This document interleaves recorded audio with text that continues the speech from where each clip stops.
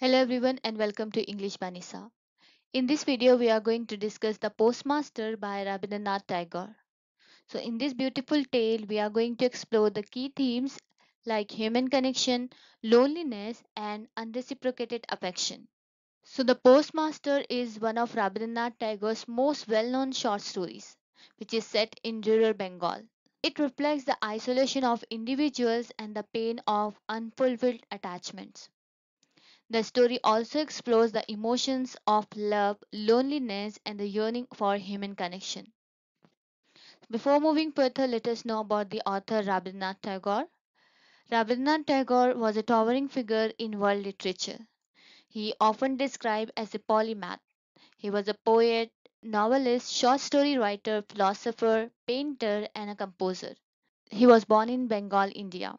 Rabindranath Tagore became the first non-European to win the Nobel Prize in Literature in 1913, primarily for his collection of poems Gitanjali.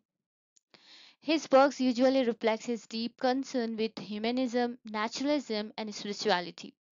Tagore's writings addresses a range of subjects which includes the beauty of nature, the complexity of human emotions, and the importance of freedom, both personal and national. Let's begin the story of the postmaster. The postmaster is set in the rural village of Ulapur, Bengal, where a young man from Kolkata is posted as the village postmaster. The village is small with a factory nearby, and the post office is located in a small hut. So the protagonist, the postmaster, he feels out of place in this remote village, which is far from the city life.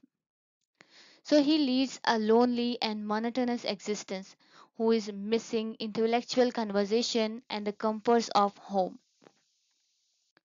The only company the postmaster has is Ratan, a simple village girl and orphan, who helps him with household chores like cooking and cleaning in return of food. Ratan, she was an affectionate and eager girl who craves attention and care. The postmaster occasionally talks with her, and during their free time, he teaches her how to read and write. These interactions become meaningful for Ratan, and she grows emotionally attached to him, seeing him almost as a father figure. Now the rainy season begins, further deepening the postmaster's sense of isolation and loneliness.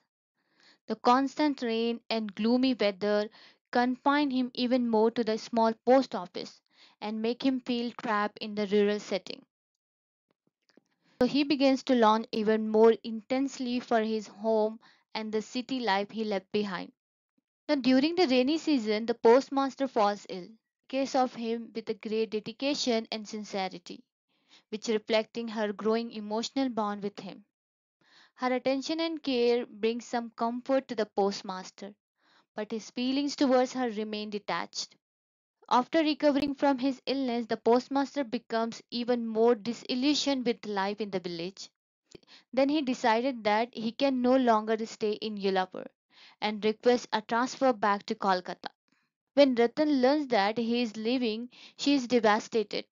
Then in her innocent hope, she asks postmaster if she can go with him to the city. But the postmaster quickly dismisses the idea, explaining that such a thing is impossible.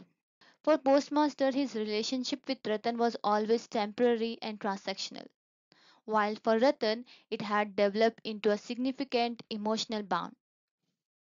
Then the postmaster tries to offer her words of comfort, saying that separation are a natural part of life and that she will find someone else to care for her.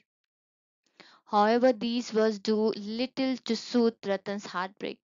Then the postmaster leaves without giving much thought to her feelings, though he briefly reflects on the sorrow of parting.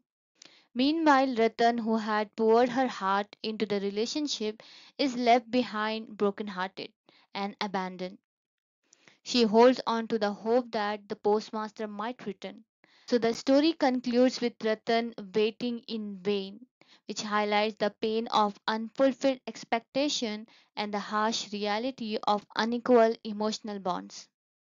So the main themes of the postmaster focuses on loneliness, unrequited affection, and emotional detachment. The postmaster feels isolated in the village, who is longing for connection but unable to form any meaningful ones. Ratan, who was the village girl, who develops a deep attachment to him, but he does not feel the same way. This highlights how people's emotional worlds can be vastly different, especially when divided by social class.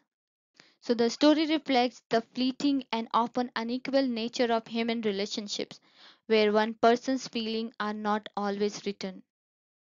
In the Postmaster, Tagore explores the complexity of human emotions, especially the pain of unreciprocated affection. The postmaster leaves the village without looking back, while Ratan is left to cope with the heartbreak of being abandoned by the only person who showed her any kindness.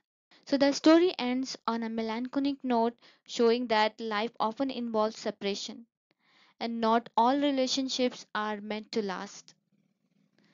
So Tagore leaves the reader with a poignant reflection on human connections, where emotional bonds are sometimes formed and broken without any closure.